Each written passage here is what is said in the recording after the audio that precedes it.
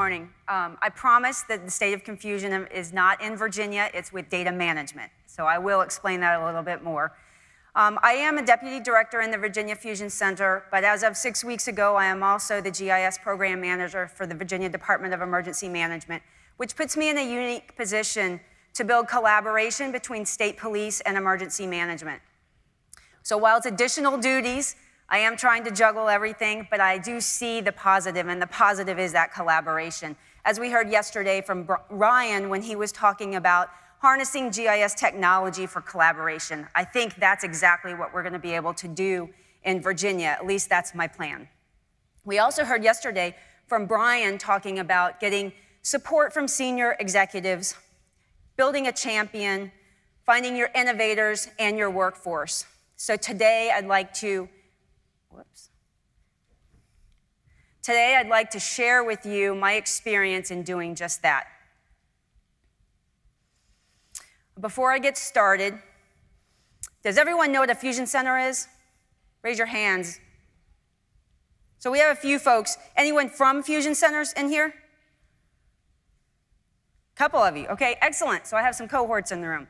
So fusion centers were established after the 9/11 attacks on the United States to fill the gap of information sharing that was identified in the 9 11 Commission report.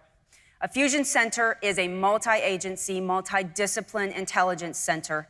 Their purpose is to collect information from multiple sources, analyze that information, develop intelligence, and distribute that intelligence in products to local, state, and federal partners in an attempt to prevent the next terrorist attack, but if an attack occurs, to help recover, respond and recover. Basically, a fusion center is a honeycomb of information divided into units or focus areas. In the United States, there are 74 fusion centers. There's at least one in every state. In Virginia, there are two. We have a regional intelligence center in the Northern, uh, the Northern Virginia National Capital Region that uh, in the DC area. And then we have the statewide fusion center, which is the Virginia Fusion Center.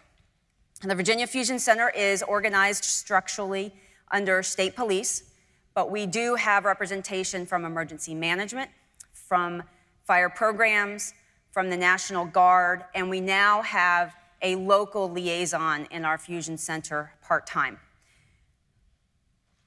The way the, the Fusion Center is structured um, we have a central center, and then we have seven geographically dispersed um, units that include special agents and analysts. In the center itself, we have six focus areas, and you see them up on the screen. We have critical infrastructure, we have terrorism, gangs, cyber, requests for information that come from external partners, and then our watch center, which really is the hub of receiving information um, when, someone, when someone emails the Fusion Center, it comes into the Watch Center and gets dispersed from there. So we have, we have a saying, an acronym in the intelligence community called BLUF, and that is bottom line up front. So I'm going to give you the bottom line up front. Um, it is possible to transform your organization, to streamline business processes, and turn your organization from reactive to proactive in the matter of a day. I did it. Um, it, it, was, it was something that uh, happened very shortly after we had installed GIS, uh, and it was an opportunity. I took it. Uh, basically, my advice to you, or my, my, my lessons learned, are that you need, there are two prerequisites to making this happen. And that is you need support from leadership, a champion at the top, and you need that incident of opportunity. So, in the summer of 2018, we initially installed GIS. It was new technology, and literally no one in the Fusion Center could spell GIS. Um, I knew and I was able to convince the leadership, our Fusion Center director, who is a lieutenant, and then the Criminal Investigations Division uh, lead, who is a captain. I was able to convince them that GIS was going to revolutionize the Fusion Center. So we found funding, and, and installed the software. In addition to gaining my champion, we had a change at the helm of state police. New superintendent came in when our new governor uh, was elected, and this new superintendent embraced technology. State police prior to this point was a very is is still a very manual organization, but they are moving in the direction of technology. So I knew to get there, to, to, in order to win their support, I was going to have to have a very quick win. And I was able to take a manually fed spreadsheet that was tracking active um, officer involved shootings across the state and import it very quickly into a dashboard that won over the superintendent and his lieutenant colonels immediately. Um, they started using that briefing and presentations. So, as, so I had my champion and I had my senior executive support. The second prerequisite came on December 13th, 2018, um, when a rash of bomb threats, later, later determined to be hoax bomb threats, hit businesses nationwide. This was a, this was a nationwide event. Um, bomb threats were coming in at a, a very um, fast pace, and we were struggling to keep up with them. It was taxing local hazmat and bomb resources. And just after lunch on December 13th, we started getting an influx of information. We were receiving most of our information by email, some of it by phone, some by text, and some in person. Our, our JTTF officers, our Joint Terrorism Task Force officers who are embedded with the FBI, were in the office that day, and there was a lot, a lot of back and forth between our agents, our analysts, and leadership trying to figure out what was going on across the state. Uh, about 215, we were scrambling just to manage the influx of information. Most of our information was coming in by email.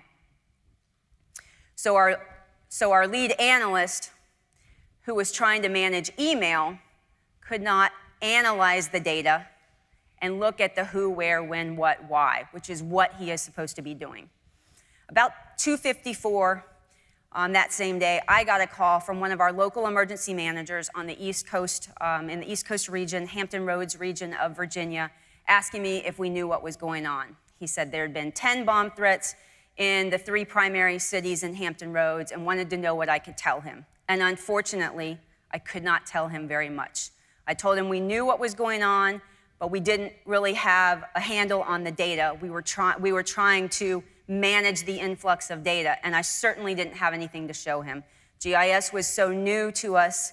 Um, I had a few trained folks, but it hadn't been wholly embraced in the Fusion Center yet.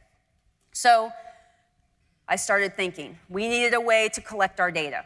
We needed a way to consolidate information in one location because it was coming in from all across the state.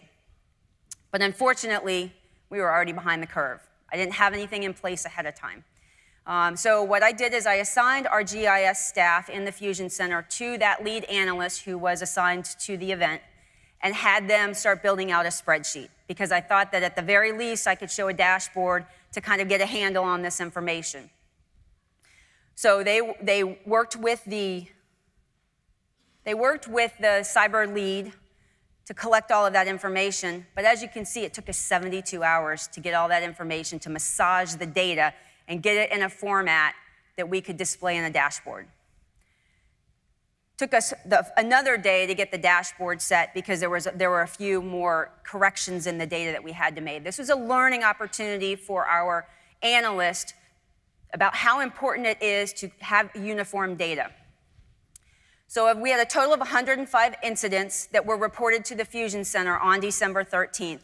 Um, Again, it took us four days to massage the data and get to this dashboard. So while that is not very timely delivery of actionable information for situational awareness or decision making, this did give me an opportunity to win over my leadership.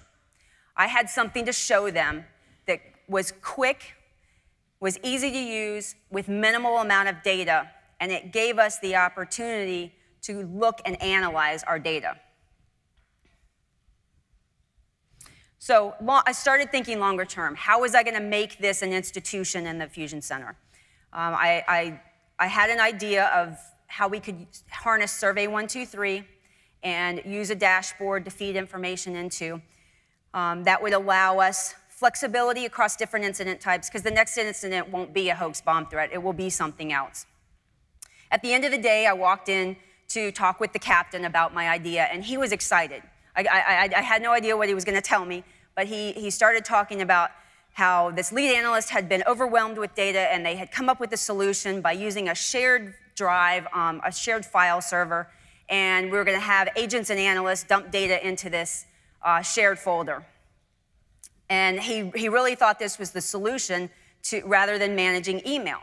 But what it didn't do for us is consolidate information. It put a bunch of files in one location, but it didn't help us put it in a format that we could use. So at that point, I looked up and I said, Stop, just stop. We already have a solution. You're, trying to, you're making this too complicated. And at that point, okay, someone has got to tell me the score because I. 2 0 US, right? Yes. Excellent. Thank you very much.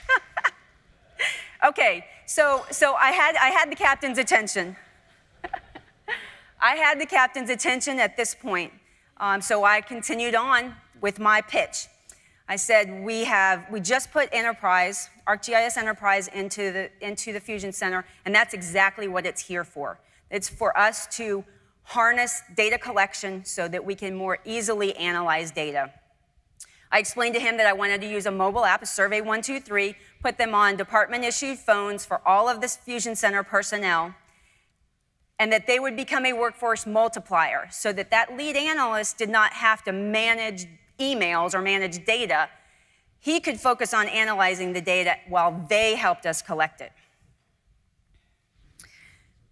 So this allowed us, this will allow us to put data in a standard format to homogenize the flow of information to a central location.